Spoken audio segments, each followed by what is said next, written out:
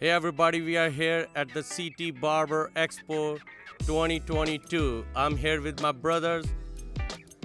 My name is Sam Flint, otherwise known on IG as Barberologist. I know him from almost five, six years ago.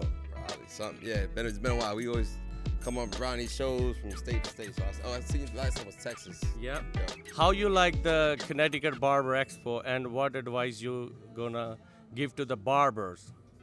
Uh, the advice I give to the barbers, even me today myself, I went to an educational class. I've been doing this a long time, and you know when you think you know something, and you, you, think that you know you know it all, is is where you're gonna slack at. Because I went to an educational class today, and I felt like I was a kindergartner, and I was like, that's some bullshit. Cause I thought, you know, I felt like I got it all covered, and I'm like, what the hell? I didn't even know that. I've been cutting hair forever. So um, yeah, just keep your eyes open, keep your mind open, and uh, there's a lot of gems here getting dropped.